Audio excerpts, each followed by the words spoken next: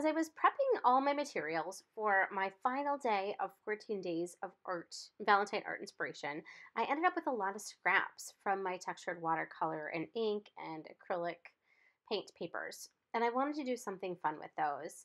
And I had this idea of just creating a collage using all those scraps and gradually building it up intuitively, just piecing them together until a small sheet of white drawing paper was completely filled.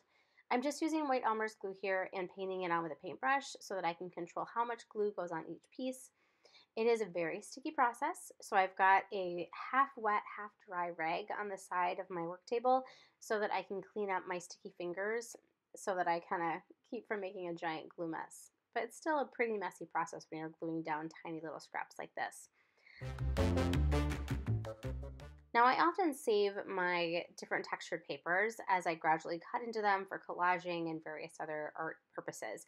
I don't normally save tiny, tiny scraps like this, but I had recently cut out a ton of hearts for day 14's video and the scraps were just too pretty to throw away and I wanted to find a way to use them. And I think this is a really fun way to get a little bit more mileage out of the fun decorative papers that you may make and collect as a collage and mixed media artist.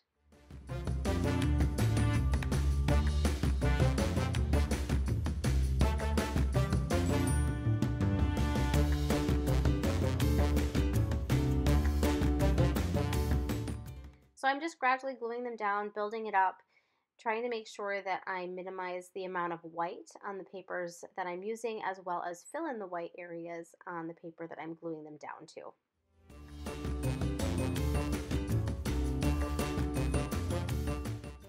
So now that my collage is done, I am taking a second sheet of paper, just regular drawing paper, and I'm cutting it down to the same size as my collage paper and folding it in half so that I can make a stencil a nice heart stencil that's pretty big, but that I know is going to fill most of my paper.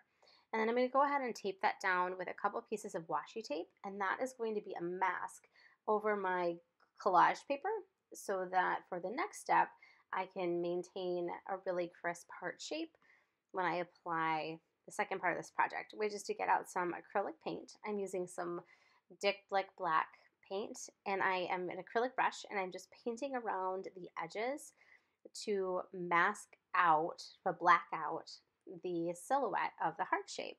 And what the stencil is going to do is it's going to protect the collage areas underneath it so that those don't get paint on them, which I think is going to have a really cool effect.